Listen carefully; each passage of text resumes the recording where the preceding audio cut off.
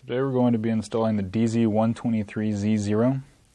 It fits AZL-Z GP30 and others. The first step is to remove the shell. To do this, simply take hold of the fuel tank and pull up on the shell.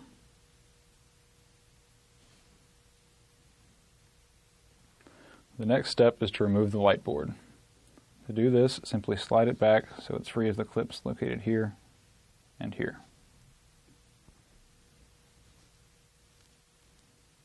slide it back and pull up.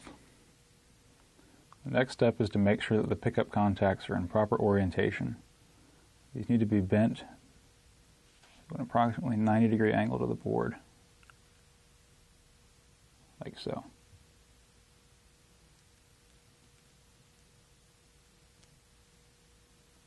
Next we're going to install the decoder.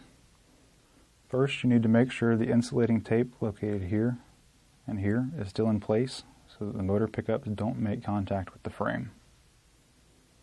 Next, you will take the decoder,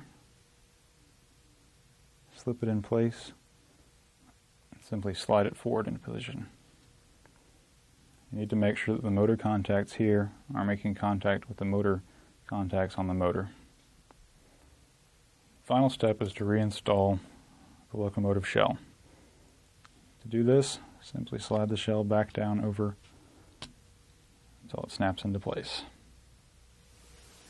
The final step is to place the locomotive on the track and select the default address, loco 03 loco. Ensure that the motor runs and the forward and reverse headlights are working.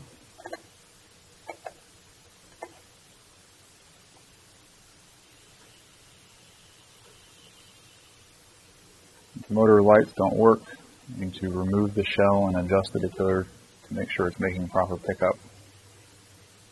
And this concludes the installation video for the DZ123Z0 that fits AZL, Z, GP-30 and others.